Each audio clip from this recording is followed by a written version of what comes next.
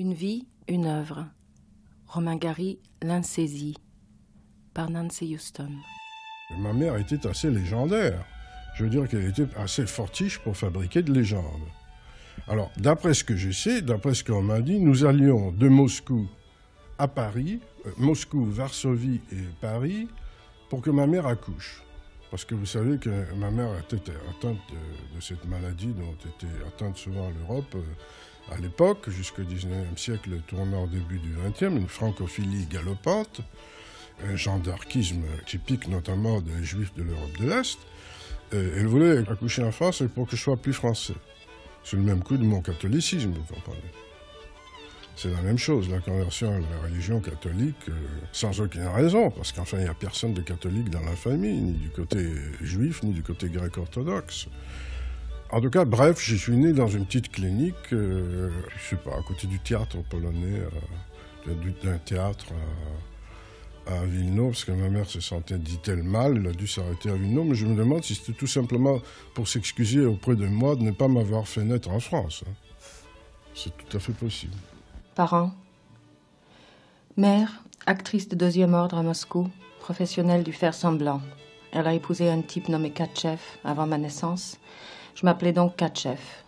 L'a divorcé après. Faisons comme si. Pourquoi Pour qui?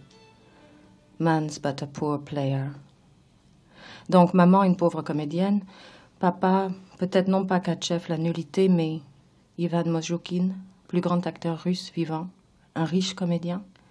C'était peut-être lui qui, sporadiquement, au long des années, venait à la rescousse de Nina, ma mère, en lui envoyant des mandats quand sa misère était à sa plus crasse. Nous sommes avec Roger Grenier dans un café qu'affectionnait Romain Gary, dans la rue du Bac même, juste en face de sa maison. Est-ce que vous pouvez nous raconter la première rencontre, votre première rencontre, euh, Roger Grenier, avec cet écrivain?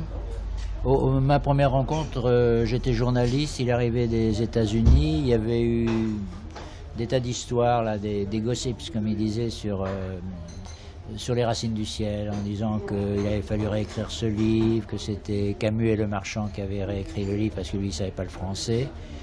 Et, on, a, on, a parlé, on a parlé de ça, mais enfin, je ne considère pas ça comme une rencontre. Je l'ai vraiment connu après, euh, quand, j'étais chez Gallimard, c'est-à-dire à partir de 1963-64. Et là, on est devenus très amis. En plus, on est devenus voisins. Il n'y a pas de jour, dans le fond, où je ne rencontrais ou Gary, ou Jean Seberg, ou, qui continuait à habiter à côté, ou l'enfant, ou les chiens même. Euh. Parce que vous, vous, promeniez vos chiens à la même heure euh, le matin, c'est ça? Bah, euh, lui ne promenait pas ses, chiens, là. Il, y avait, la gouvernante là, qui promenait les, chiens. Moi, je promenais le mien. Alors, en général, je tombais sur euh, Gary au carrefour de la rue du Bac et de la rue de Varennes, euh, devant ce barrage de police où il y a des gardes mobiles qui, qui gardent l'hôtel Matignon, la résidence du Premier ministre. Alors, en général, alors euh, Romain appelait le chien qu'il connaissait bien, qui aussitôt venait lui faire fête, et puis on, bavardait. Il, dormait peu, il était insomniaque, alors il sortait tôt le matin comme ça pour acheter le journal et pour aller prendre un café dans l'endroit où nous sommes actuellement. Et, on, alors euh, je voyais que pendant que nous discutions, les, flics euh, qui gardaient Matignon là, le, regardaient en disant qu'est-ce que c'est que cette espèce de, clochard, parce que il était accoutré de façon impossible avec euh, vieux battle dress et puis et surtout un feutre absolument informe, mais qu'il gardait parce que c'était un cadeau de John Ford et qu'il considérait comme un, comme un fétiche. Et je m'étais toujours dit, une fois que Gary sera rentré chez lui, je vais me payer un flic, je vais lui dire, voyez, vous étiez en train de, rire de cet homme, mais il est, ambassadeur de France, compagnon de la Libération, officier de la Légion d'honneur, prix Goncourt. Puis je l'ai jamais fait, je, le regrette d'ailleurs.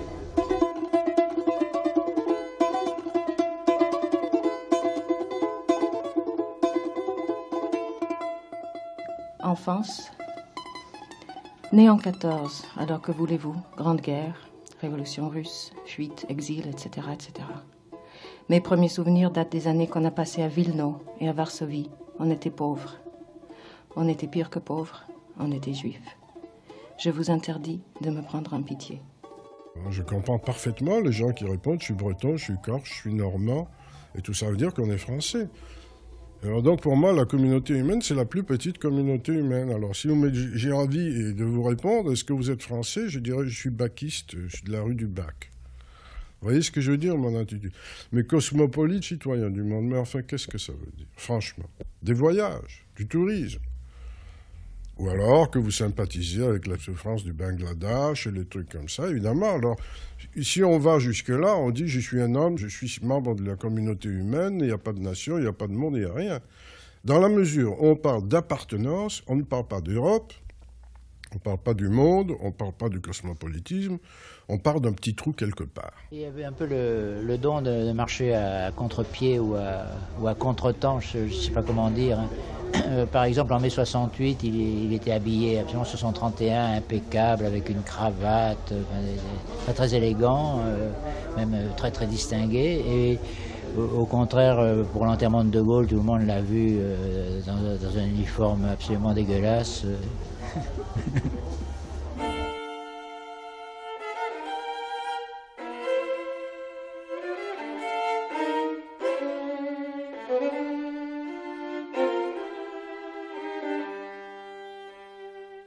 Tsvetan Todorov, quelle est la place qu'occupe Romain Gary dans la littérature française de la deuxième moitié, disons, du XXe siècle? Eh bien, je pense que il faut commencer par affirmer une chose qui n'est pas évidente, à savoir qu'on dispose en la personne et l'œuvre de Gary d'un des, disons, cinq plus grands écrivains français du siècle. Il y a toujours quelque chose de légèrement comique de nommer euh, un certain nombre d'écrivains, d'établir un classement, mais je pense que ce que Gary a apporté à la littérature française peut se comparer à très peu d'autres écrivains et qu'il mérite une place parmi les toutes premières, une place qu'il euh, ne possède pas du tout pour l'instant dans l'opinion publique. Il faut donc s'interroger tout de suite, avant même de dire positivement en quoi consiste cette place de Gary, il faut s'interroger sur les raisons qui font qu'il ne l'occupe pas je pense qu'il y a au moins deux raisons. L'une, c'est qu'il y a chez Gary quelque chose d'excessif, de débordant. Gary est toujours un peu dans le trop. À la différence d'autres grands écrivains, il n'a pas su se concentrer dans une œuvre ou dans deux. Vous savez, comme on peut dire que Camus s'est donné dans L'étranger, la peste, et puis c'est tout Camus. Eh bien, Gary a écrit, c'est même difficile à compter, euh, probablement autour de 25 romans, plus une dizaine d'autres livres de fiction, de théâtre, d'essais. Et cette dispersion même, mais qui est très caractéristique du personnage, fait qu'il est difficile de choisir une œuvre et de dire voilà, c'est cela que Gary laisse pour la postérité. La même chose se répète à l'intérieur de chaque œuvre. Là aussi, les œuvres souffrent un peu d'un trop. Euh, leur manque unique, je dirais, c'est qu'il n'y manque rien. C'est qu'au contraire, quelqu'un aurait peut-être dû, un éditeur euh, amical et exigeant, aurait dû les, les amaigrir un peu, les, les rendre plus euh, laconiques. Ces œuvres sont toutes un peu trop longues, un peu répétitives, avec des passages dont on se dit que, ma foi, si on l'enlevait, ça rendrait l'œuvre encore plus belle. Je crois que le sens de ma vie, ça a été vraiment le sens profond, ça a été deux amours.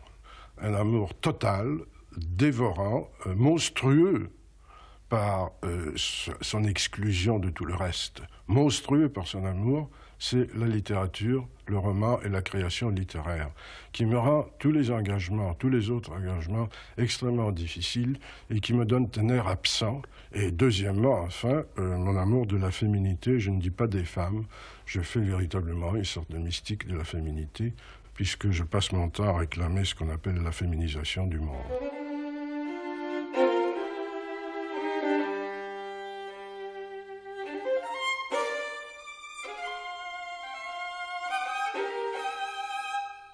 La seconde raison est, je crois, un certain anachronisme de Gary. Je crois que Gary a vécu qu'il est mort un peu trop tôt. Il a vécu dans l'immédiat après-guerre, qui était une époque de confrontation idéologique et de terrorisme théorique.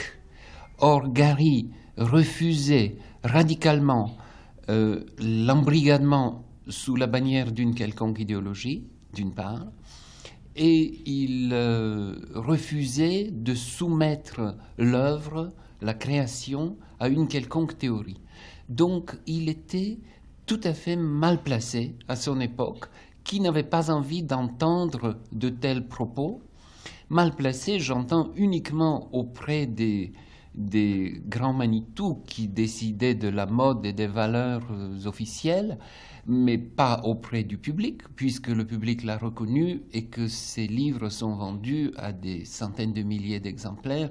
Donc Gary est un des écrivains les plus lus, euh, sans aucun doute. Mais il n'est pas des plus estimés.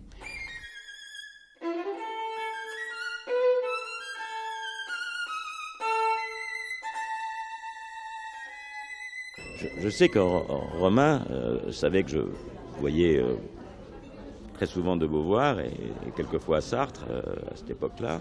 Alain euh, Pour des raisons militantes, j'allais dire en Algérie, quand je suis revenu en France.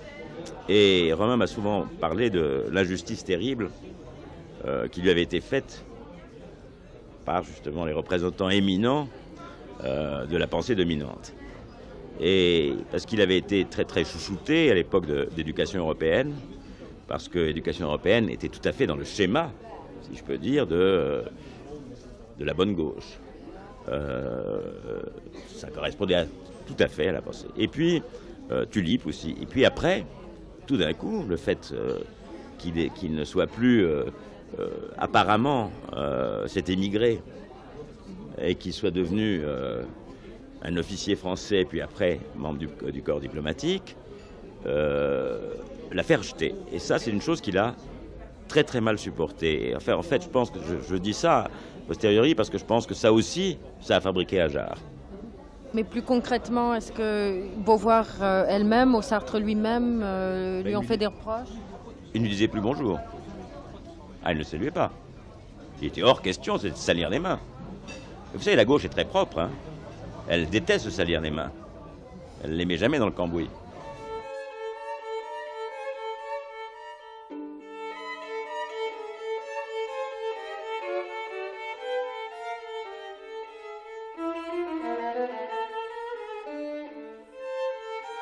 Un autre aspect de ce même anachronisme peut-être est que Gary était un euh, mélange tout à fait exemplaire de sources et d'origines diverses. Et je pense que ce thème du métissage culturel, de la rencontre des cultures, du croisement de, euh, euh, de, différentes sources, euh, tout cela qui est devenu un aspect intéressant et vivant de la culture d'aujourd'hui, était réalisé par Gary il y a bien longtemps car il faut le rappeler, le cas est suffisamment rare pour être euh, vraiment mis en valeur. Gary a grandi dans une première langue qui était le russe, il a étudié dans une seconde qui était le polonais, il a écrit essentiellement en français, mais il a également produit plusieurs livres en anglais. Je crois qu'il existe peu d'exemples dans l'histoire de l'humanité d'un écrivain aussi polyglotte. Il parlait sans doute toutes les langues en faisant des petites fautes et avec un certain accent. mais il les maîtrisait parfaitement, comme en témoignent ses amis. Du point de vue culturel, euh, on pourrait dire la même chose. Il, a un côté grand russe, il a un côté juif polonais, il a un côté français de souche, il a un côté baroudeur américain, et tout cela forme un étonnant mélange, mais qui était peut-être euh, venu trop tôt aussi pour la sensibilité littéraire qui régnait en France euh, jusqu'à une certaine époque, pendant que la critique s'intéressait à son œuvre. J'ai une tête qui, à mon avis, ne correspond vraiment pas à ce que je suis à l'intérieur. il y a eu à cela plusieurs raisons. D'abord le mélange des sangs, des ascendances tartares, qui sont expliquées autrement dans le contexte occidental. Lorsque vous voyez, mettons, en Orient, en Russie, un type un peu tartare, bon, c'est un type un peu tartare. Mais ici, on l'interprète en termes de caractéristiques morales et psychologiques françaises, occidentales.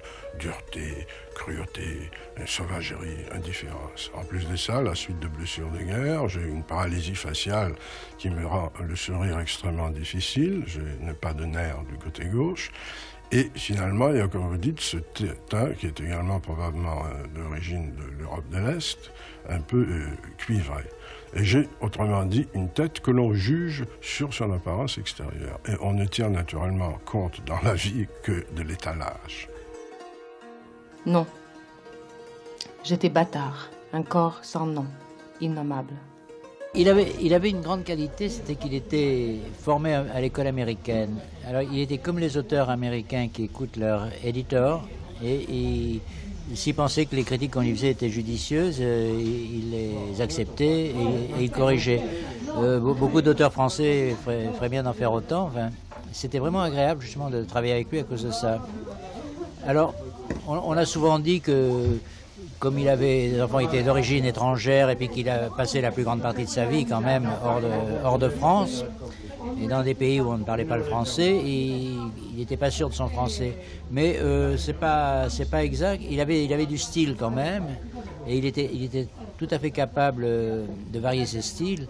Euh, euh, par exemple, dans, dans, Europa, il voulait que ça soit très bien écrit. Eh bien, il a fait un livre vraiment de, de, de, grand style. Et dans d'autres livres, il soignait moins le style, à votre avis?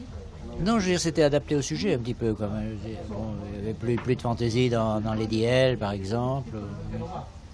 Alors, ce qui était, ce qui était un peu étrange, enfin, un peu un tour de force d'ailleurs, c'est qu'il y a certains de ces livres qui ont été écrits d'abord en anglais, puis ensuite avec une version française, et, et d'autres l'inverse. Ça m'est arrivé de lui dire, écoute, ça, ça, on peut pas, ça se dit pas en français. Bon, euh, alors il dit, mais pourquoi? Alors, euh, Là, là, je séchais. J'avais dit, écoute, je, sais que ça se dit pas. Alors, on, appelait, on appelait ma femme Nicole et elle, elle, qui a été prof, lui sortait la règle de grammaire. Alors là, il s'inclinait. Et quel est, selon vous, son plus grand livre? Euh, Son plus grand livre, je me demande si c'est pas, si c'est pas La promesse de l'aube, qui, qui, me touche beaucoup. vraiment, c'est parce que il y a ce portrait d'une mère avec euh, son ambition folle, euh, sa, sa déraison et, et, cet amour qui, va au-delà de la mort. C'est vraiment un livre euh, infiniment touchant. Mais enfin, il y a beaucoup de, beaucoup de livres de Gary que j'aime. Moi, je sais pas, je, l'ai lu dès, dès, son premier livre qui était Éducation européenne. J'ai été frappé. Je me suis dit, bon, c'est un auteur auquel il faut faire attention. Profession. Avec un nom comme Romain, je n'avais guère le choix. Ma spécialité serait le roman. J'ai publié une trentaine de livres en 36 ans. Hormis mon pseudonyme initial de Gary, qui signifie brûle en russe, j'ai écrit six romans sous trois autres pseudonymes.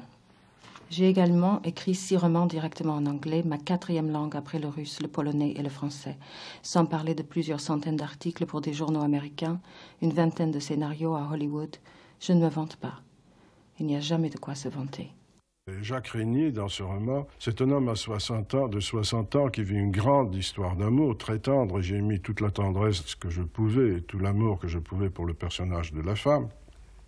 Et qui n'a en effet plus les moyens de garçon de 20 ou 30 ans. Mais il n'est, par exemple, pas impuissant, mais pas du tout, ça ne lui suffit pas. Il veut être tel qu'il était à 20 ans. Il, veut, il a investi dans son corps à 20 ans, à 30 ans, il ne veut pas s'en dessaisir. C'est le déchaînement de possession matérialiste du monde, de la vie, où on ne veut lâcher prise en rien pour rien, jusqu'au bout, jouir à tout prix par n'importe quel moyen, y compris à la fin par l'artifice de l'intrusion du fantasme qui devient réalité, c'est-à-dire le troisième partenaire. Or, qu'est-ce que devient ce fantasme? Qu'est-ce que c'est dans mon roman, ce fantasme du troisième homme qui devient troisième partenaire, qui devient réalité?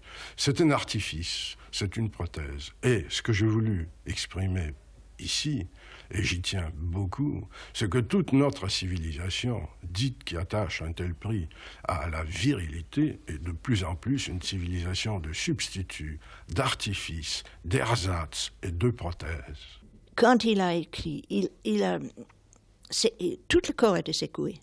Au commencement, ça veut dire, quand il a commencé, quand il a écrit ses premiers livres, il était convulsé. Et sa tête était, était comme un Leslie Blanche Gary. Une poupée qui... Une marionnette. Oui, qui tourne, qui balance tous ses mèches de cheveux et flirtait comme ça. Il était possédé. Il a écrit comme quelqu'un possédé. Quand il a écrit les, euh, La promesse de l'aube, qui était pour moi son meilleur livre, je trouve que c'est absolument superbe. Lui, il était vraiment possédé. Nous étions en Mexique ensemble. Et il a commencé, page one, il a commencé, il n'a pas arrêté jusqu'à le jour de notre départ. En deux semaines, il a jamais parlé, jamais descendu de l'hôtel qu'une fois. Et en rentrant, il a continué. Et là, il m'a donné page par page par page. Il m'a poursuivi dans la maison ou dans le jardin avec ses pages. Et on a l'impression que le page fumait si vous comprenez ce que je veux dire, fumait avec la passion qu'il a mis là-dedans. Et après ça, son caractère était totalement changé. Après ça, il a dit tout. Tout ce qu'il a caché peut-être avant. Et après ça, il, a, il est devenu une autre personne. Pas plus heureuse, mais très arrogant. et très arrogant, je crois que ça c'est le mot. Il a dit tout et tout le reste. Je ne peux pas exprimer. L'homme était changé, libéré par ça. Après ça, il a. He owed nothing to anybody. Il ne devait plus rien à personne. Oui. Il n'a rien à cacher. If you don't like it, fuck it. Gary était animé d'un amour inextinguible pour l'humanité, mais ce n'était absolument pas l'humanité avec un grand H, c'était l'humanité telle qu'elle s'incarne dans une multitude d'êtres humains profondément médiocres. Et il faut tenir ensemble les deux éléments de cette affirmation, la médiocrité des êtres humains leur imperfection constitutive, leur impossibilité d'aller au-delà de, de leurs forces qui sont assez limitées, et en même temps cet amour que rien ni personne ne pouvait éteindre. Du coup, Gary a parfois formulé cette position en termes d'un éloge de la faiblesse il écrivait dans un de ses livres Toute mon œuvre est faite de respect pour la faiblesse. Et il a développé cette idée en affirmant, peut-être de façon un peu simpliste, mais néanmoins assez parlante, que tous les malheurs de l'humanité venaient de sa fascination pour la force, incarnée notamment dans les valeurs viriles, euh, dans le machisme, dans le désir de s'emparer du pouvoir, d'être le plus grand, le plus fort, tout cela. Et puis ce à quoi s'opposait une morale des faibles, souvent chez Gary l'éloge du féminin, de la tendresse, de la sympathie, du vivant qui est aussi mortel, par opposition à l'immortel.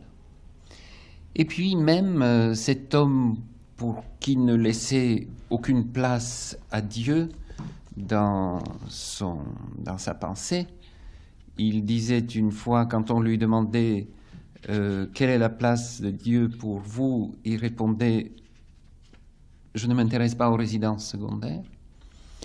Cet homme donc euh, avait une euh, passion pour Jésus, car euh, Jésus-Christ lui paraissait l'incarnation de la faiblesse, de ce principe féminin qui le fascinait tant. Découlait de ce choix une compassion sans limite pour les victimes, pour les faibles, pour tous ceux qui avaient perdu dans la vie, qui allait jusqu'aux animaux. Et Gary, euh, là aussi, disait avec beaucoup d'humour qu'il euh, avait le malheur de s'identifier à tous les animaux, mais il ajoutait, par contre, il m'est assez indifférent de penser qu'on tue les poulets je n'arrive pas à m'imaginer dans un poulet. Je trouve que cette façon qu'avait Gary de terminer une tirade héroïque par, un, par une phrase qui pointait sur, euh, vers une autodérision est très caractéristique de lui et transmet très bien euh, son refus de tout esprit solennel, même sur les sujets qui lui étaient les plus chers.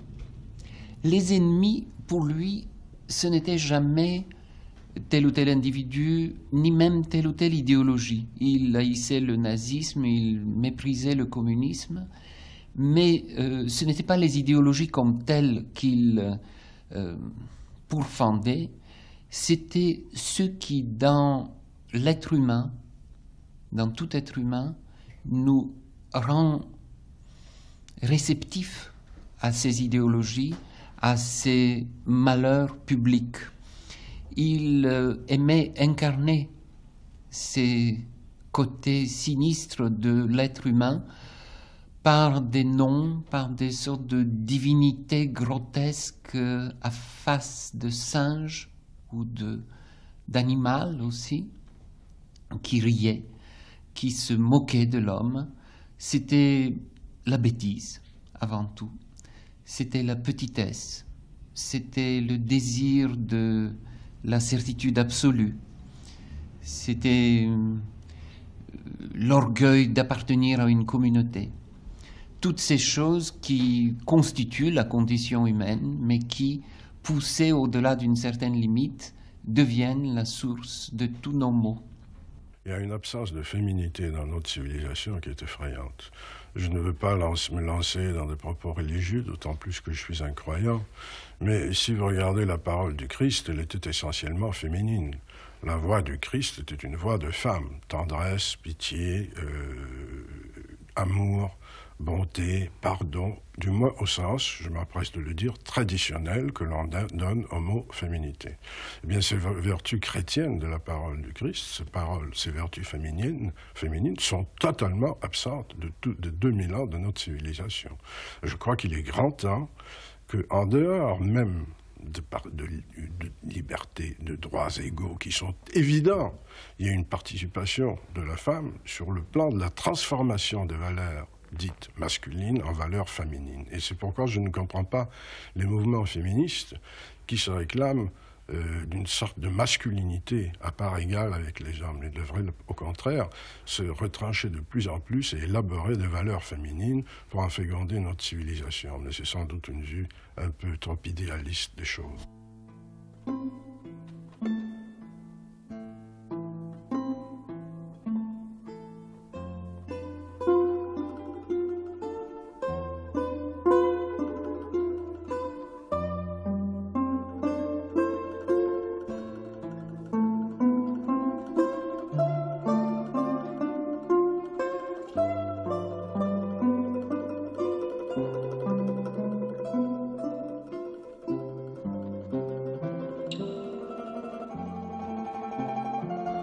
Du tout que Romain était un hédoniste. Absolument pas. Euh, il menait une vie euh, extrêmement sobre. Euh, et son seul côté dionysiaque, c'était les femmes. curieusement, le Bacchus n'intéressait pas beaucoup, le vin ne l'intéressait pas, la bouffe ne l'intéressait absolument pas. donc, en fait, quand, quand on voyageait ensemble, puisqu'on a voyagé ensemble aux États-Unis, c'était un transport. Je veux dire par là que, en vérité, il ne regardait pas beaucoup les choses. Et euh, il était très, très, très solitaire, Romain, et très replié sur lui-même. Il n'avait pas du tout une espèce d'ouverture comme ça, une espèce de jouissance de vie. Non, la jouissance, c'était la conquête, et en même temps, c'était quelqu'un qui avait très peur de l'extérieur, et très peur des femmes aussi. C'est quelqu'un qui était obsédé, par exemple, par la maladie. Il était obsédé par euh, les maladies sexuelles. Et le sida n'existait pas euh, à l'époque. Et je me souviens, euh, aussi bien aux États-Unis que rue du Bac chez lui, dans, sa salle de bain et en Espagne où j'étais, il avait une grande baignoire avec euh, les choses autour et il y avait des quantités de médicaments, mais absolument fantastiques, qui étaient des pommades euh, euh pour pas attraper, alors comme si ça allait empêcher de l'attraper, la blénorragie ou des, des, des, trucs pour s'astiquer la bite, pour pas être malade. Et alors qu'il ne pensait qu'au coït, en même temps, il était horriblement chaque fois angoissé à l'idée qu'il se détériorait, en fait. Je pense qu'il y a l'idée que quelque chose pouvait l'atteindre euh, dans son physique. Et je crois que c'est un truc très important. C'est que Romain était quelqu'un qui vivait dans une très grande peur, en vérité. Euh, et je vais vous raconter un, truc, c'est que euh, il m'avait invité chez lui en Espagne, à Porto Andrés, et il m'avait demandé de mener des, médicaments. Il m'a dit, tu passes chez Jean, et elle va te donner un, colis de médicaments. Et je passe euh, rue du Bac chez Jean Seberg et elle, me, descend un énorme carton que j'amène. Et euh, Romain venait me chercher en voiture euh, à Majorque. Et donc il y avait des problèmes de douane. Et comme il était un personnage, on ouvre le carton et je, m'aperçois que c'était des, des, calmants. et j'étais absolument étonné par la quantité de, médicaments qu'il y avait là. Et je, au cours de la route, dans sa rover, je me souviens, il avait une rover, euh, je lui ai dit, mais tu prends tout ça il, me dit, euh, oui, pourquoi Je lui ai dit, mais comment tu peux écrire en prenant euh, tout ça Il m'a dit quoi Tu penses que ça enlève mon imaginaire Je lui ai dit, je ne sais pas, je te pose la question. Et euh, il, dès qu'on arrive chez lui, il téléphone à son médecin en le traitant d'assassin, alors que je vais, bah, en disant, mais en vérité, euh, tu ne veux plus, puisque c'était un ami à lui, je ne sais plus le nom, euh, tu ne veux plus que j'écrive, parce que tu me tues toute ma libido. Tu me tues ma libido. Je me souviens très bien de, de cette expression. Relation d'objet. Jamais su quoi faire des objets. À 16 ans, j'ai fait l'amour à un radiateur. À 35 ans, j'ai bouffé mes propres peintures à l'huile. À 64 ans, je me suis jetée dans une poubelle. À quoi servent les objets? Les seuls dont je me sois vraiment régalée Les grands concombres russes salés, les bons cigares. Freud peut aller se faire foutre. Il aimait beaucoup de porter quelque chose euh, très macho, comme une chemise en des gros euh, carrés, choses comme ça. Oui. Là, et, toute la, marche, tout, tout était changé. Et euh, il n'était pas si heureux quand il était dans le, le veste, le costume strict des diplomates. C'était jamais bien pour lui, jamais bien. Mais euh, il a écrit, quand il était euh, avec moi, il a écrit presque toujours dans une longue robe de chambre à la maison. Le robe de chambre que Balzac a toujours porté. Et je semble confortable. L'œuvre de Gary est si abondante qu'il faut euh, nécessairement la partager en quelques ensembles. Il y a d'abord pour moi celui qui est le plus simple, le plus facile à décrire, l'ensemble des essais. Ce sont jamais des essais abstraits, des traités systématiques, mais quelque chose qui se situe à mi-chemin entre l'œuvre autobiographique et la conversation à bâton rompu, les mémoires ou euh, le, coup de gueule même. Le premier de ces textes, mais c'est un chef-d'œuvre, c'est La promesse de l'aube, un des plus grands essais autobiographiques du XXe siècle, qui me semble par exemple tellement au-dessus des mots de Sartre, qui est pourtant la plus grande réussite esthétique de Sartre. La promesse de l'aube, donc, qui est un hymne fabuleux à l'amour maternel, qui est un récit désopilant de l'enfance d'un pauvre petit juif russe puis polonais dans la Russie, en Pologne, puis dans le sud de la France, un récit vibrant de l'héroïsme quotidien et nullement euh, gonflé, nullement vantard des héros de la première heure de la résistance et de, des combats de la France euh, libre de Londres, une réflexion sur la littérature, sur l'amour, bref, un chef-d'œuvre. Gary a continué d'écrire de tels livres qui ne sont peut-être pas tout à fait à la hauteur de la promesse de l'aube, mais qui restent du plus haut intérêt.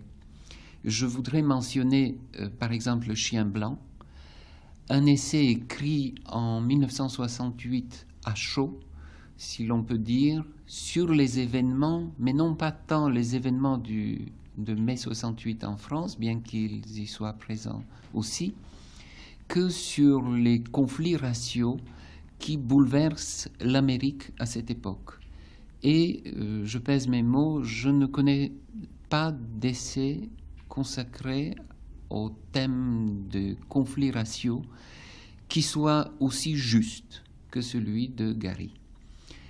Gary parvient à décrire le combat des Black Panthers, des différents groupes extrémistes américains, à la fois dans toute leur misère et avec toute la sympathie et compassion à laquelle seul un être comme lui devait pouvoir être capable. Car c'est cela euh, le caractère étonnant de son analyse, c'est que il juge souvent négativement, il n'est d'accord en rien avec ses interlocuteurs, et pourtant il les comprend jusqu'au bout. Il parvient donc à dissocier parfaitement sa compréhension humaine de son jugement sur le fond, et cela nous avance infiniment dans la voie de la solution de ce problème, si solution euh, peut y avoir.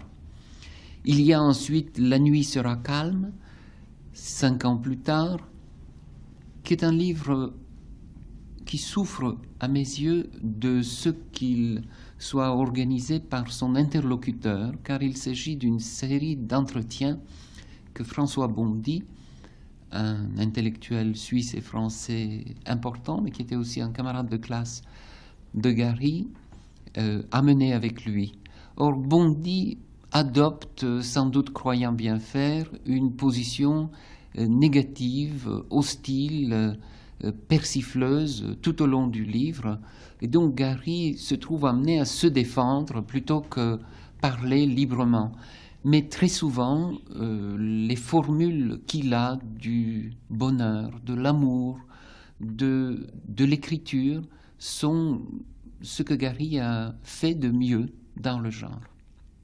Enfin, il y a un essai aussi consacré à la littérature qui est pour Sganarelle, un essai particulièrement volumineux et qui aurait pu profiter des ciseaux peut-être d'un éditeur bienveillant, mais qui n'est pas moins intéressant car Gary défend là-dedans une position complexe. Il se bat en quelque sorte sur deux fronts. D'abord contre l'idée d'une soumission de la littérature à la politique ou à la morale. C'est en somme le combat avec la littérature engagée telle que la prône, même s'il ne la pratique pas, Sartre, car, réplique Gary, il y a plus de politique et plus de morale dans une œuvre qui ne s'en soucie pas que dans une autre qui veut s'y soumettre. Mais c'est aussi un combat contre les nouvelles versions de l'art pour l'art, c'est-à-dire à, l'époque le nouveau roman et le structuralisme, qui exclut l'homme, exclut les valeurs, exclut les sentiments, exclut le personnage, l'action, exclut presque tout dans un étrange rêve ascétique. Et contre eux, Gary demande ce qu'il appelle le roman total, c'est-à-dire le roman aussi riche, aussi immense que la vie.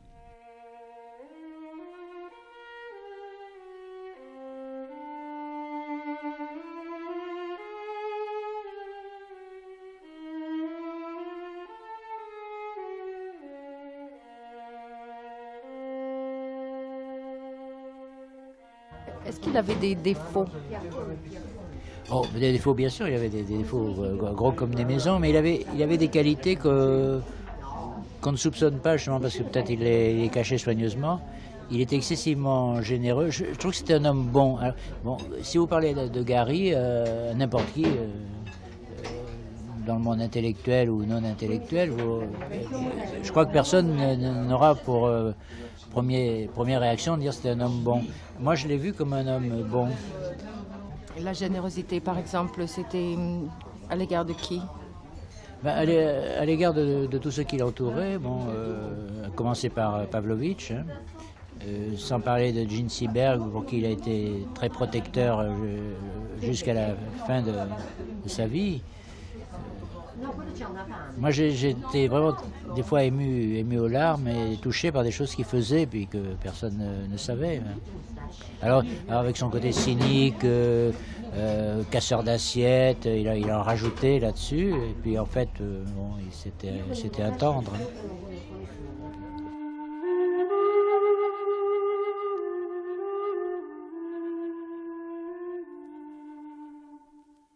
Chez Wojtek et Barbara Pchoniak. Quand il a retrouvé Wojtek, nous avons dîné ensemble chez lui. Et puis, nous, nous a posé des questions. Est-ce que je peux faire quelque chose pour vous? Parce que nous avons sympathisé tout de suite. Et, euh, justement, nous avons demandé est-ce que par hasard, s'il connaît un studio pas très cher, etc. Et, presque tout de suite, il nous a proposé allez, venez chez moi. Parce qu'il y avait cette euh, partie de l'appartement qui appartenait à lui et qui était vide. C'était en fait une un vrai appartement, bon, avec, avec euh, la, grande cuisine, euh, la chambre, un salon, grande salle de bain, etc. Et comme ça, on était très, très, très près de lui. Aussi. donc, euh, et ces deux, parties de, de, de, cet appartement étaient liées par un couloir, donc on, on pouvait se visiter l'un l'autre. Et le loyer? Et le loyer, c'était tout à fait. Non, c'était rien du tout. Il nous a donné ça comme ça. Et puis, il y avait un. Oui, c'était un cadeau. On avait même un téléphone à notre disposition, la télévision et tout, tout, tout. Il était vraiment amical. Est-ce qu'il vous a séduite comme homme, je veux dire, parce que il aimait beaucoup les femmes belles. Est-ce qu'il vous a dragué, pour le dire très simplement? Bah, il y avait un moment, c'est-à-dire que je, savais que je lui plais. Il m'a plu aussi parce que c'était quelqu'un vraiment charmant, etc. Mais non, il, était, quelqu'un quand même. Il aimait beaucoup Wojtek. Il, il m'a respecté. Donc, euh, rien ne s'est passé, mais il y avait quand même cette petite euh, séduction de sa part.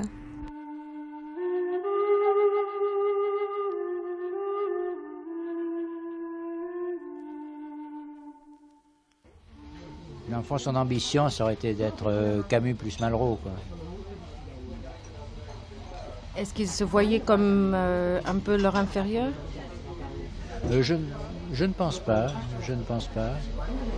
Mais je pense qu'il a été, c'était très bon pour lui que dès ses, premiers livres, il a été reconnu par Camus, aidé, par Camus, que par ailleurs pour d'autres raisons un peu, euh, qui touchent davantage quand même euh, au, au gaullisme, euh, il a été soutenu aussi par, euh, par Malraux.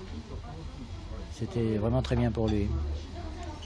Et vous dites qu'il qu'il avait besoin d'écrire, qu'il écrivait tous les jours quoi qu'il arrive. Est-ce que le succès littéraire était important pour lui? Bon, je crois que là, il y a eu euh, un de ses drames, c'est-à-dire que, il, bon, il a eu du succès, bon, ses premiers livres ont été remarqués, il y a eu Les Racines du Ciel euh, qui ont eu le prix Goncourt et puis qui étaient considérés comme un, livre euh, important. Et puis, et puis au bout de les années passant, il s'est dit bon ben ça y est, on m'a catalogué, on m'a étiqueté, les critiques disent bon ben voilà, voilà un nouveau livre de Gary, on sait ce que c'est, bon euh, passons. Et il a, souffert de ça, ce qui est une des explications euh, du, pour, pour- pourquoi il, il s'est lancé dans l'aventure euh, Ajar. Et je- moi j'ai l'impression qu'il n'a pas ar- arrêté de- d'essayer comme ça de, de, de se remettre en question et de, de faire des tests. De faire des tests pour savoir si on le lisait vraiment, si on l'appréciait vraiment. Bon, bon, on parle beaucoup, de l'histoire à Jarre, je- que, j'ai vu de près, mais il y a, d'autres euh, exemples de mystification littéraire qu'il a, qu'il a commises. Bon, il y a, y y a ce, livre-là qu'il n'a pas qu'il n'a pas signé euh, parce que il était haut fonctionnaire à ce moment-là, qui était sur l'ONU. Ensuite, il a eu cette expérience là de ce livre signé Chatham Bogat, qui était très amusant, qui s'appelait Les Têtes de Stéphanie. Et d'ailleurs là, quand il a vu que ça avait du succès, il a dit ah ben c'est moi. Hein. Mais il a, encore fait un autre coup. Je crois que le dernier livre qu'on a publié de lui chez Gallimard, qui s'appelle Les clowns lyriques, euh, je l'ai lu, un autre lecteur l'a lu, et, tous les deux on a dit mais en fait c'est les, les couleurs du jour, c'est la, même chose. Et, alors là, là euh, cas de conscience, euh, bon, est-ce qu'on lui, est qu'on lui dit mais écoute tu te fiches de nous là, c'est c'est les couleurs du jour, tu as changé le titre et très peu de choses, ou bien est-ce qu'on fait semblant de rien et est-ce qu'on dit rien? Dans les deux cas, on était piégés parce que si on lui disait, il risquait de se vexer.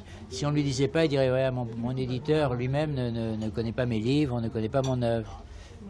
On a, on quand même choisi cette solution-là et évidemment, il n'a pas, manqué de, faire remarquer que, c'était quand même euh, un peu les, couleurs du jour. Donc, il cherchait tout le temps à, se, mettre ou à nous mettre à l'épreuve. Titre de gloire? J'aimais à égrener, tel un chapelet, la série de beaux bijoux que la vie m'avait donnés. Compagnon de la Libération, commandeur de la Légion d'honneur, prix Goncourt, premier consul de France. Tel un chapelet, comme s'il s'agissait de syllabes apprises par cœur et dépourvues de sens. Mais en fait, tout cela m'importait énormément. Pourquoi seulement consul? Pourquoi pas ambassadeur? Pourquoi seulement Goncourt? Pourquoi pas Nobel? Pourquoi seulement une personne? Pourquoi pas deux? Paula Jacques, euh, je crois que vous n'avez pas connu personnellement Romain Gary, mais vous avez un rapport assez fort à lui, puisque vous étiez mêlé à cette histoire, à l'histoire Émile Achard.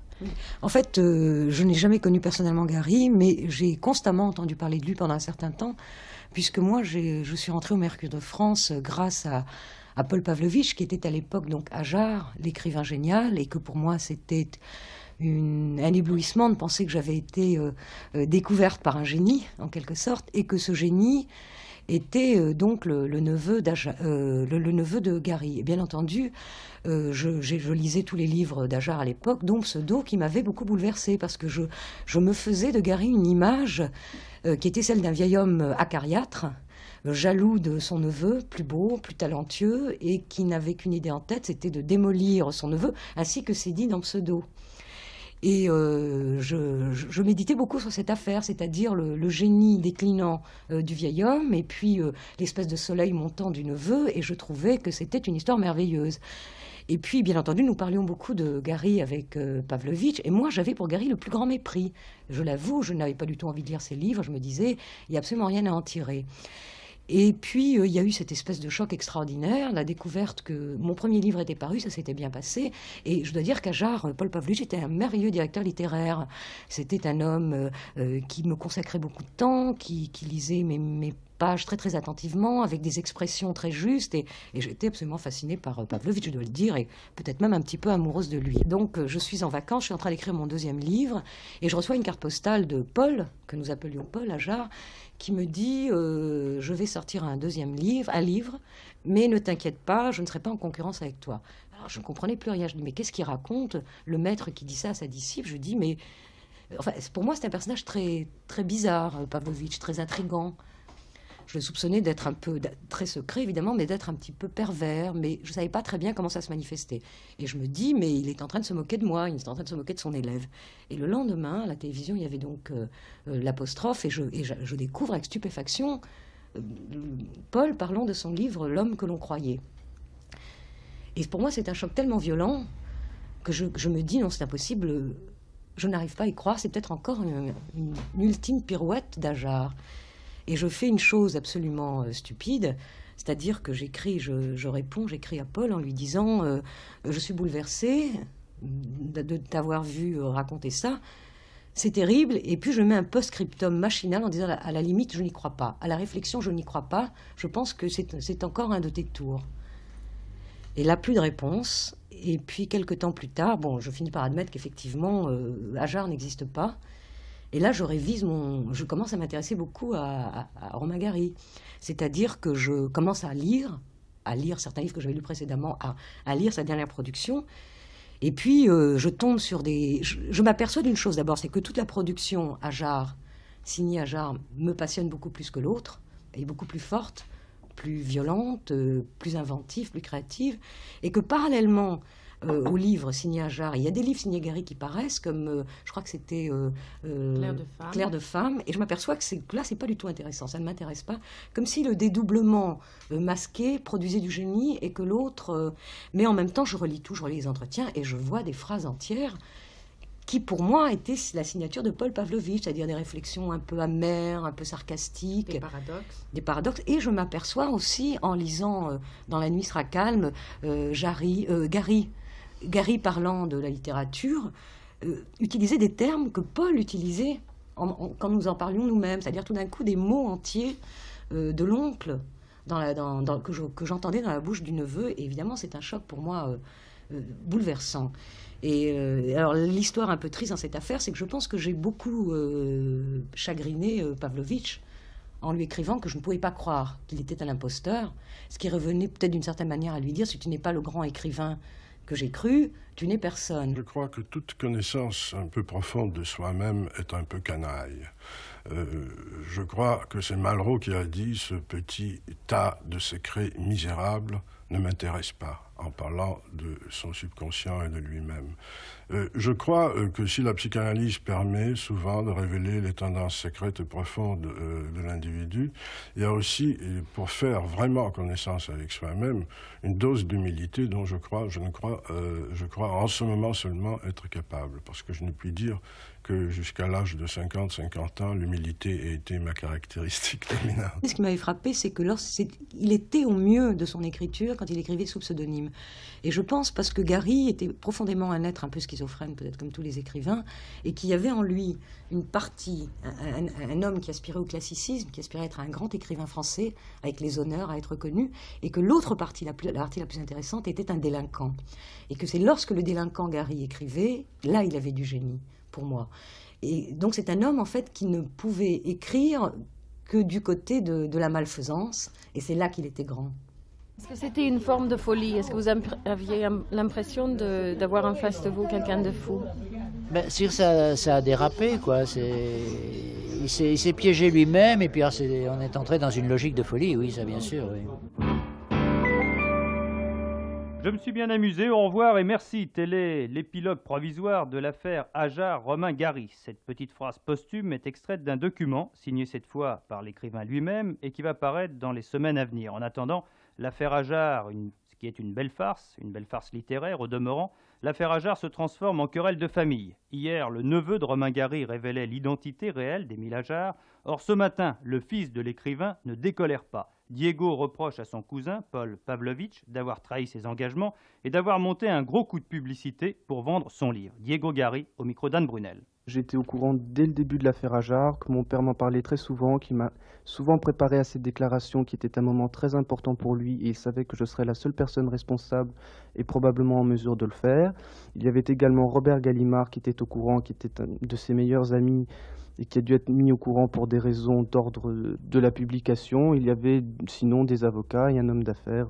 On a demandé à Pavlovitch d'intervenir pour asseoir le mythe d'Émile Ajar. Malheureusement, Pavlovitch devait être un fantôme. Il a donné une véritable photo et une véritable biographie, ce qui a rendu mon père très malheureux parce que sa tentative de roman total, parce que si on regarde l'affaire Ajar, Ajar lui-même, le personnage qui est présenté est un personnage de roman. Toute l'histoire est complètement romanesque et c'est Pavlovitch qui a détruit le mythe. Vous avez le sentiment d'avoir été trahi? Bien sûr, et d'autre part, je suis également triste parce que euh, nous partagions, mon père et moi, ce secret, et c'est une complicité qui s'achève maintenant.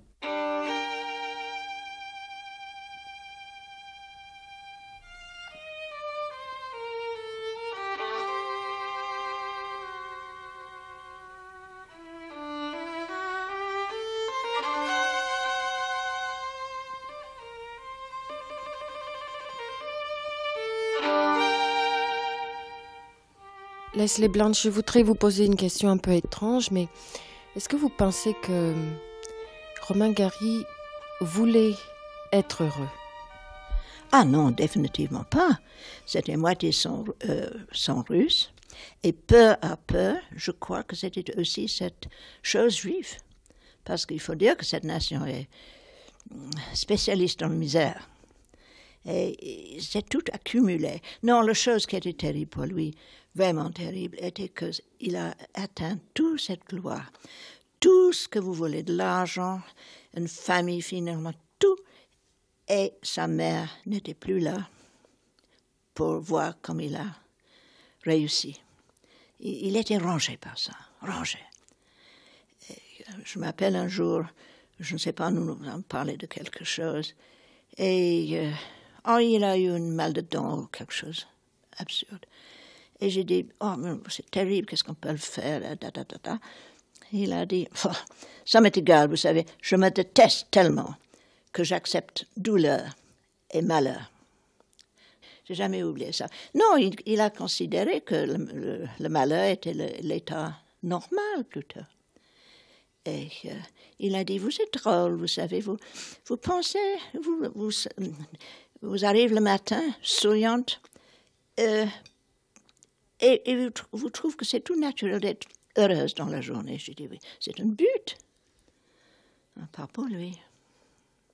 J'ai remarqué comment il a changé et comment il a, il a été à peine 60 ans et il déjà les mains tremblantes de temps en temps et il était un homme désabusé jusqu'à la limite et le corps commence de trahir. Il était trahi par, je ne sais pas par quoi exactement. En tout cas, j'étais choquée de voir peu à peu comme il a changé. Un vieux monsieur, presque. C'était tragique pour moi parce que je sais que ce n'était pas nécessaire. Oh, je suppose que c'était nécessaire euh, pour son caractère. C'était une partie de la misère générale.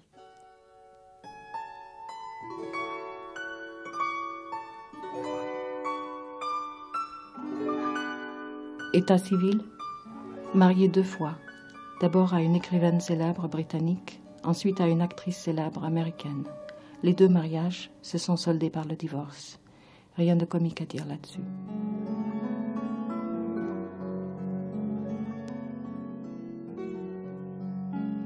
Aventures extramaritales. J'ai fait l'amour avec des femmes de tous les âges, toutes les couleurs, toutes les nationalités. C'était, après l'écriture, mon activité préférée. Mais jamais je n'ai mélangé les deux. La littérature érotique est à mes yeux une contradiction dans les termes. Mes livres parlent librement de seins et de pénis, d'impuissance et de frigidité, des mille espèces de paradis et d'enfer où le sexe peut nous mener. Jamais ils ne tentent de reproduire l'effet que le sexe a sur nous. Femmes importantes dans ma vie Nina, Ilona, Leslie, Jean, Leila femmes importantes dans mon œuvre Zosia, Lily, Lila, Mina, Lola, Laura, Adriana, Aline, Aliette. Tirez vos propres conclusions. Euh, le Don Juan, vous comprenez, c'est le petit consommateur, c'est l'homme, c'est lui qui a inventé la société de consommation, c'est Don Juan. C'est vraiment, et puis en plus de ça, qu'est-ce qu'il y a dans la notion de changement? Ce besoin de changer de femme continuellement, qu'est-ce que ça veut dire? Ce n'est pas moi qui l'ai dit, c'est un cliché, c'est archi connu au point de vue psychanalytique. C'est un signe d'impuissance. L'homme qui a continuellement besoin de changer de femme pour se renouveler, pour se ranimer, est en réalité un homme qui est sur le déclin, ou qui n'a jamais été d'ailleurs bien fort. Le véritable, je ne cesserai de le dire, le véritable, le plus grand amant de tous les temps, c'est quelques paysans de Corrèze ou du Lot, je ne sais, et qui fait l'amour à sa femme deux fois par jour depuis 35 ans. Ça, chapeau, ça, c'est un véritable donjon. Mais l'autre, le pauvre, c'est un minable. Et il faudrait absolument en sortir, et nous n'en prenons pas le chemin. Dès que vous voyez parler de séducteurs, les femmes elles-mêmes s'animent, prennent de petits sourires intrigués et ravis. Les hommes ont des sourires bêtes et ineptes. Et ça fausse complètement tout rapport authentique de profondeur entre l'homme et la femme. Cela rend le couple absurde. Je crois profondément au couple. Je crois que la vérité, la vérité des rapports de l'homme et de la femme, c'est le couple, et tout le reste, c'est de la crème chantilly. Bon, c'est très bon, la crème chantilly, je ne crache pas dessus, excusez-moi l'expression, mais enfin, quand même, la vérité et la profondeur, c'est cette espèce d'équipe à deux, cette espèce de soudure profonde, cette espèce de complicité, cette entente instinctive de tous les instants, ce partage de tous les buts dans la vie, et de tout ce qu'on veut faire, de tous les rêves aussi, qui est absolument irremplaçable et qui a été une des grandes beautés un des grands fleurons de la civilisation occidentale, parce que c'est nous quand même qui l'avons inventé.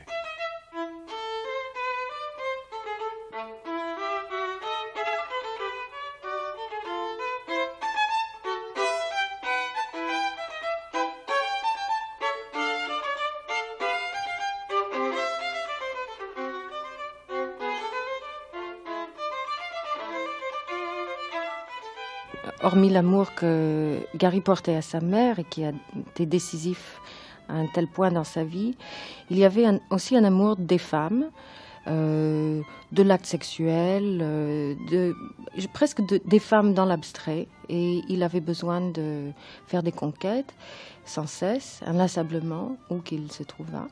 Et d'autre part, il y a dans son œuvre euh, une présence très très fréquente et très positive de prostituées que ce soit dans La vie devant soi ou dans Lady L, où le personnage principal est une petite prostituée parisienne qui devient une grande aristocrate euh, britannique. Euh, c'est quelque chose euh, clairement qui a vraiment fasciné Gary. Est-ce que vous pouvez dire un petit peu quel pouvait être le sens de cette fascination? Par rapport à ce, à ce, point, je crois que justement, il faut tenir ensemble, je dirais, un certain donjuanisme, Michel Cazenave. D'une certaine façon.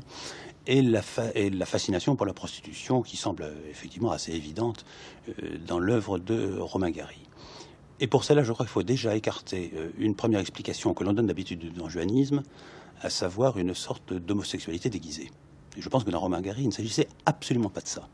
Mais il s'agissait effectivement beaucoup plus de son rapport au féminin, derrière le féminin au maternel, et euh, derrière le maternel, je dirais, à une composante presque cosmique ou presque divine, euh, disons même le mot, euh, du féminin et du maternel et du, et du maternel mélangé.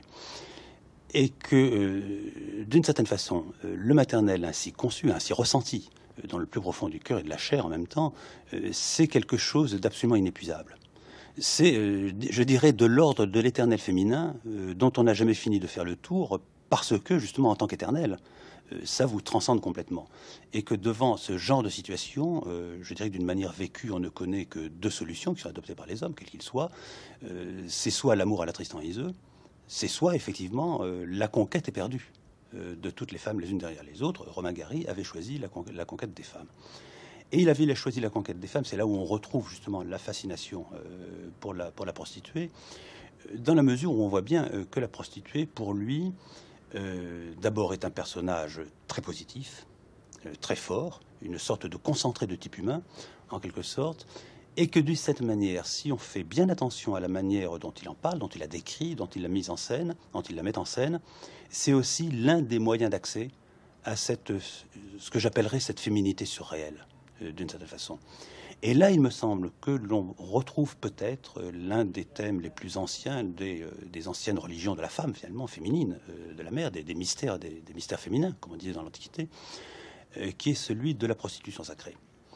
Qu'est-ce à dire au juste? Euh, si ce n'est que euh, c'est à travers euh, des rites de prostitution, et nous en avons beaucoup d'exemples à travers Hérodote, avec, à travers Strabon, etc. on connaît les, collèges des prostituées de Corinthe, d'Aphrodite, en Sicile, etc. Si ce n'est donc que devant, je dirais, la, la révélation arrachante, et d'une certaine manière même terrifiante, par l'intensité et la profondeur qu'elle représente, de l'essence même de l'éros féminin, cet Eros avait besoin euh, d'une médiation. Et que cette médiation se faisait justement par l'intermédiaire euh, de ces euh, prostituées, instituées même dans le culte de ces anciens mystères. Et que de ce point de vue-là, je dirais que Romain Gary, il me semble, a le même point de vue, ou le, point de vue parallèle, à celui qu'il avait vis-à-vis -vis de la figure de la mère. À la fois amour immense et insensé pour sa mère, réelle, et immense, amour immense et insensé pour la mère spirituelle.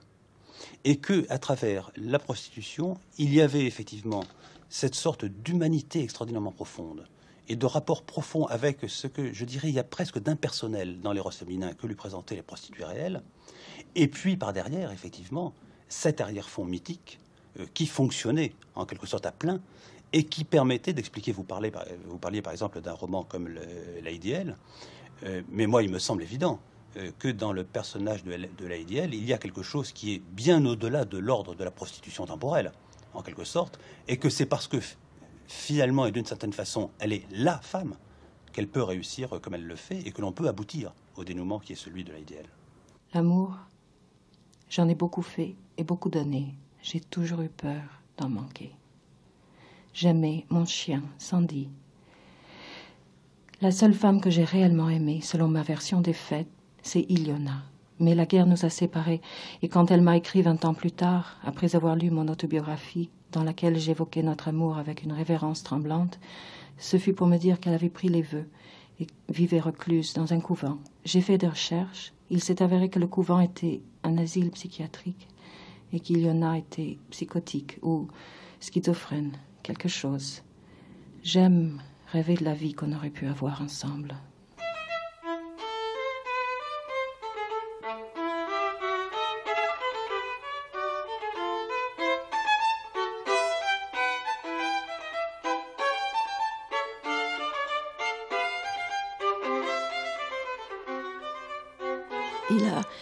Il a eu une vénération pour De Gaulle et ça, c'était la chose qui a compté plus qu'absolument tout le reste tout le reste.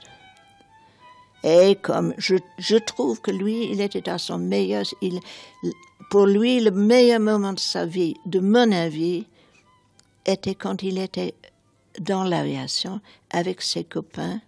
Là, le vrai, le bon, le pur caractère de Romain et tous ses idéaux étaient là, sans fade. Après, il a fadé ses idées, joué avec et euh, composait un rôle. Et comédienne, il était comédienne jusqu'au bout de ses. Et, et, n'oubliez pas comme il a adoré la publicité. Pouvait pas résister. Et ça, c'était pour moi une, vulgarité. Il a dans son caractère qui, ne doit pas être là. Ça ne doit pas être dans un caractère d'homme qui a des côtés grands comme lui. Cette passion, il ne pouvait pas résister tout le temps en train de chercher, de peser, de se mettre en valeur, n'est pas nécessaire. Michel Cazenave, est-ce que vous vous souvenez de votre première rencontre avec Romain Gary? Ah, la première rencontre avec Romain Gary était euh, assez étonnante parce que j'avais besoin euh, de le voir à propos euh, d'un gros cahier de Lerne que j'étais en train de préparer avec Olivier Jamin Thomas sur le général de Gaulle. Donc il semblait évident, en tant que témoignage d'écrivain et d'écrivain engagé et combattant, de s'adresser à Romain Gary. Euh, et le contact, a, le contact a été extrêmement simple, c'est-à-dire que sonnant à la porte, je la vois s'entrouvrir, euh, je vois apparaître un homme disons d'une certaine manière, un peu hagard, qui me regarde avec de grands yeux et qui, à l'évidence, avait complètement oublié qu'il avait quelques rendez-vous que ce soit et avec qui il n'a été possible de rien faire. Parce qu'à partir du moment où il avait décidé d'oublier, car je crois bien qu'au fond de lui-même il avait décidé d'oublier, bah, évidemment il n'était pas question de donner suite de quelque façon que ce soit à ce, projet. je crois que ce qui m'a frappé à travers les, autres contacts que j'ai eus ensuite euh, avec euh, Romain Gary, euh, c'était à la fois une sorte de fidélité à la mémoire du général de Gaulle, d'une espèce tout à fait particulière, en rien comparable à celle d'autres hommes, sinon éventuellement rappelant peut-être un peu celle qu'avait André Malraux. et en même temps les phénomènes psychologiques par lesquels elle pouvait s'expliquer. pour essayer de le dire d'une manière un peu rapide, euh, on a souvent dit que le général de Gaulle jouait le rôle de père mythique, etc., pour, euh, pour beaucoup de Français. Il est évident que ce n'était pas ça du tout pour Romain Gary. Pour Romain Gary, tel que je l'en ai entendu parler, euh, c'était beaucoup plus l'idée que tous les gens qui s'étaient engagés dans la France libre représentaient d'une certaine façon la troupe des enfants mystiques de la France. Euh, et dans mon langage de psychanalyste, je dirais euh, la troupe des enfants de la mer. Euh, et que de ce point de vue-là, le général de Gaulle ne remplissait pas du tout la fonction du père, qui, à la limite, n'intéressait pas au moins consciemment Romain Gary, mais remplaçait, tenait le rôle du chef de la troupe. Et donc, d'une certaine façon, du frère aîné, du grand héros auquel, on voulait, auquel on voulait rassembler. Euh, et en même temps avec une sorte de phénomène, je dirais presque d'identification, tout en sachant très bien, bien entendu, euh, Romain Gary euh, ne cédait à aucune confusion mentale, qu'il n'était pas le général de Gaulle, qu'il n'y participait pas d'aucune manière que ce soit, mais un phénomène de, communion et je dirais même d'une certaine façon de, d'identification en général sur un tour très particulier qui était celui de l'humour et particulièrement de l'humour noir.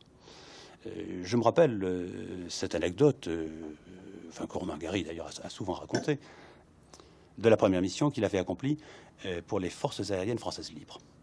Bon, euh, Romain Gary était parti avec son escadrille euh, et il revient, et il revient seul. Tous les autres avaient été abattus par la chasse ou par la DCA allemande. Et Romain Gary est reçu par le général de Gaulle, il rend compte de ce qui s'est passé. De Gaulle lui dit Bon, alors vous êtes le seul survivant. Euh, il dit bah oui, mon général, je suis le seul survivant. Et à ce moment-là, De Gaulle lève les bras vers le ciel en disant eh oui, c'est toujours pareil, ce sont toujours les meilleurs qui s'en vont. Et Romain Gary, je dois le dire, le raconter ça avec une espèce de jouissance personnelle extraordinairement profonde. Euh, comme si effectivement cette sorte de dépréciation implicite de sa personne qu'il y avait chez le général de Gaulle, et sachant très bien qu'en même temps cela cachait une émotion contenue d'être justement devant le seul euh, qui était passé à travers le feu, rencontrait son adhésion la plus profonde et son être le plus profond. Et ça, je crois qu'on peut le mettre en relation, qu'il faut le mettre en relation avec ce que j'appellerais le, euh, finalement le caractère dépressif euh, de, de Romain Gary. Dans la mesure où, là aussi, on sait bien que ce que nous appelons les enfants de la mer ou les fils de la mer vivent normalement leur vie pratiquement euh, sur un mode dépressif ou maniaco-dépressif, euh, tantôt dans, euh, dans le désespoir le plus profond, tantôt dans l'exaltation la plus grande. Autre trait d'ailleurs qui rapprochait extraordinairement Romain Gary du général de Gaulle, de la même manière que ça le rapprochait d'André Malraux, qui tous les deux vivaient sur ce mode-là, effectivement. Et que Romain Gary, là-dessus, je dirais, additionnait les choses, dans la mesure où il était le fils de sa mère, en tant que le fils de sa mère de chair, de sa mère réelle, et on sait bien à quel point, effectivement, quelle était la, force, la profondeur du lien euh, qui les unissait. Il suffit de lire les promesses de l'aube, enfin, pour, se rendre compte à quel point, finalement, il a, il a, toujours été habité et hanté euh, par la présence de cette mère. Et il y avait donc ce lien en même temps avec euh, la France, la mère patrie, en quelque sorte, même si c'était une patrie de substitution. qui fait qu'effectivement, il vivait tout le temps selon le scénario des anciennes mythologies, finalement. Euh, des grandes mers, euh, c'est-à-dire ce scénario de descente vers la mort, d'affrontement vers la mort, et puis au contraire d'exaltation, je dirais à la fois la passion et l'héroïsme. Et de ce point de vue-là, je crois que tout ce qu'il avait vécu dans la France libre était entièrement teinté par cette sorte de sentiment.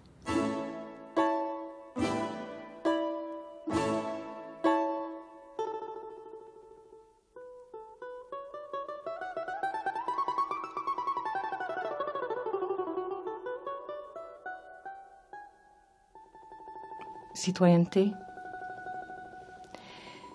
J'étais citoyenne non pas de la France de l'après-guerre, mais du mythe de la France du XIXe siècle que ma mère avait emprunté à une aristocratie russe romantique et frustrée, puis soufflé dans mes oreilles crédules, nuit après nuit, tandis que nous mourions de froid et de faim à Varsovie. D'abord, euh, si on lui demandait s'il était juif, il disait qu'il savait pas, euh, qu'il voulait bien. si, on, décidait qu'il était juif, il voulait bien être juif. Et puis, euh, alors, je crois que ce qui le préoccupait beaucoup, c'était s'il était ou non le fils d'Ivan Mosjoukine, acteur très célèbre au temps du, muet. Et on a, je rappelle qu'une fois, on a, la télé devait passer un film joué par Ivan Mojoukine, qui est le père Serge d'après la nouvelle de Tolstoï. Et Gary m'a demandé de regarder l'émission pour voir si je trouvais une ressemblance. Et à vrai dire, j'en ai, j'en ai pas trouvé. D'ailleurs, c'était curieux parce que le, voir euh, comme ça au cinéma, on ne trouvait pas qu'il ressemblait à Gary, et voir des photos, on, on trouvait qu'il ressemblait. Bon, le, il a toujours gardé chez lui une grande photo d'Ivan Mojokin euh, de profil euh, qui ressemblait effectivement de façon étonnante à son profil à lui. Et ensuite, sa mère a épousé un, certain Katchev, et ainsi que Romain Gary s'est appelé Romain Katchev pendant toute la première partie de sa vie. Est-ce que vous pensez que son obsession pour les noms et les pseudonymes, parce que Gary même est un pseudonyme bien sûr, il en a pris plusieurs autres par la suite. Est-ce que vous pensez que ça vient de cette absence du père, justement, ce mystère qui entoure son père? Écoutez, j'en sais, non, j'en sais trop, j'en sais trop rien, mais, mais c'est, sûr qu'il était euh, assez préoccupé par ça, savoir qui était, qui était son père. Comment est-ce qu'il était lui en tant que père? Ah ben, il, a, il, a, été un père euh, très très d'abord qui, qui adorait son fils qui était très très attentif, très, très inquiet tout le temps, euh, sûrement pas sévère. Un peu mère juive. Il était peut-être mère juive, oui.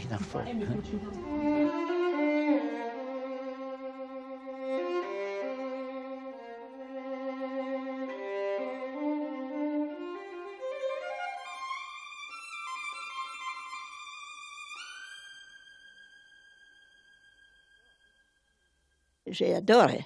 Et euh, difficile pendant des années, de temps en temps, de retrouver cet, cet homme. Juste vers la fin, il m'a téléphoné deux, trois jours avant sa mort.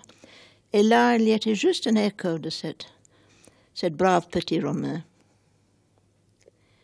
Mais un écho très faible. Mais c'était le vrai Romain.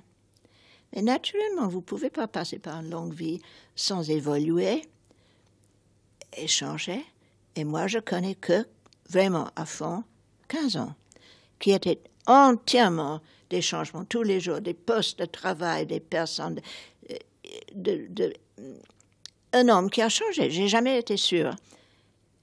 Je pensais de temps en temps, mais qui est l'homme avec lequel je suis mariée? Quel roman ce matin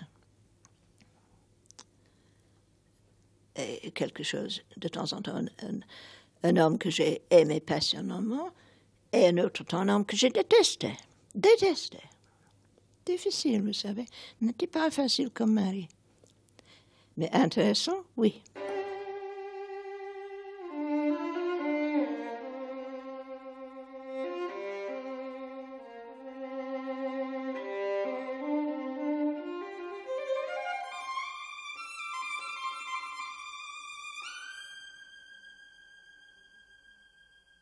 Le 2 décembre 1980 était une journée pluvieuse à Paris. J'ai déjeuné au récamier avec mon vieil ami et éditeur Claude Gallimard et fumé un cigare pour la première fois depuis trois mois. Ensuite, j'ai marché d'un pas tranquille de Saint-Germain-des-Prés à la rue du Bac, m'arrêtant en chemin pour acheter un peignoir en soie rouge. C'est cela que j'ai mis autour de ma tête quand je me suis allongée sur le lit, vêtue seulement d'un slip, rouge lui aussi, afin de ne pas bouleverser Leila plus que nécessaire. Je ne voulais pas que cela soit laid, vous comprenez. Mais apparemment, il n'y avait pas une goutte de sang. Gary, brûle, ajar, braise, out, out, brief candle, se brûler la cervelle, Une balle à travers la gorge. Roman, pas mort.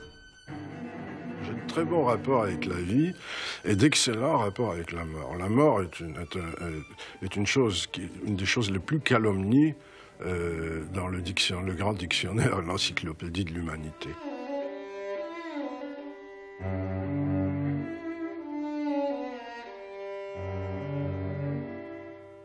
Je ne pense pas que ce soit la fin, parce que je ne sais pas ce qu'il y a ailleurs, je ne sais pas ce que, veut dire ça, comme disait le psychiatre Grodek, mais je sais certainement que l'aventure humaine, comme toutes les aventures euh, de la nature, prendra fin un jour. Et je crois que le véritable optimisme euh, consiste à se dire quand même, bon, les prochaines 20, 20 000 années seront très difficiles.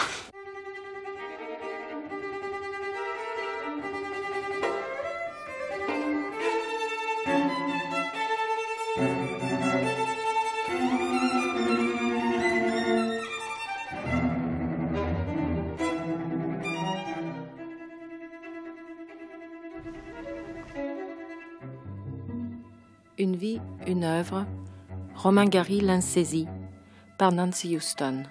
Avec Roger Grenier, Tsvetan Todorov, Leslie Blanche Gary, Barbara Pchoniak, Michel Cazenave, Paula Jacques, Alain Aptekman et la voix de Romain Gary et de son fils Diego. Mixage Henri Bérec. Réalisation Jacques Taroni.